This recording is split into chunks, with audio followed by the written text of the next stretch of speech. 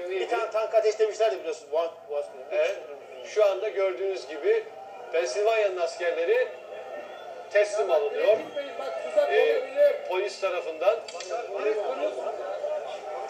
e, bir tuzak olabilir sesi geliyor. Dikkat olun, dikkatli olun diyor. Evet bir tuzak olabilir. Yani bunlar bu kadar adi. Ama şunu söyleyeyim, Cumhurbaşkanımız bir şey söyledi.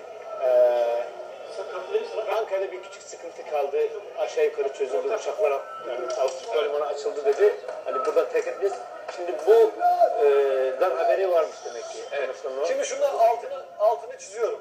Bu darbeye saat akşam 21 sıralarında başlayan bu darbeye e, destek olan hepimizin tanıdığı simalar vardı. Mesela Mustafa Ünal.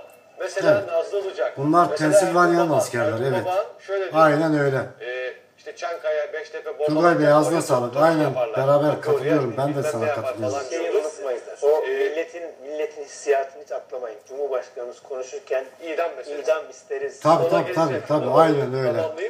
Bu, bu, bu tiplerin hepsinin tek tek tespit edilmesi gerekir ve bunların yargı karşısına çıkarılması gerekir. Aynen Çünkü, öyle. Aynen öyle. Bir darbeye, suç olan bir darbe girişimine aleni destek vermişlerdir. Şu hallerine bak. Pensilvanya askerleri. Turgay Bey. aleni destek Beş, vermişlerdir. bu, gece boyunca e, hayatlarını kaybeden onlarca insanın Katilidir. ölümünden de ölümünden de bunlar sorumludurlar. Bu katiller görüyorsunuz, evet. Yani sadece tetiği çeken o o aşağılık e, Tabii, Hasan Bey, değil. tabii, aynen öyle. Onlar değil. Onlara destek olan, onları savunan, onları gözeten, onların propagandasını yapan.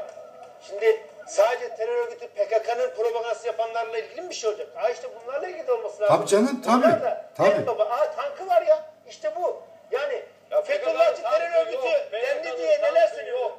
Fethullahçı terör örgütü denildiği zaman neler söyleniyordu? Aha görüyor musunuz? Tank, ha silahlı terör örgütü mü olur? Böyle mi olur?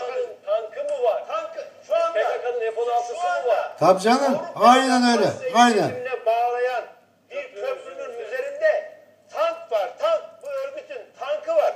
Biraz önce e, Beştepe'nin yanındaki e, yeri bombalayan F-16'sı var.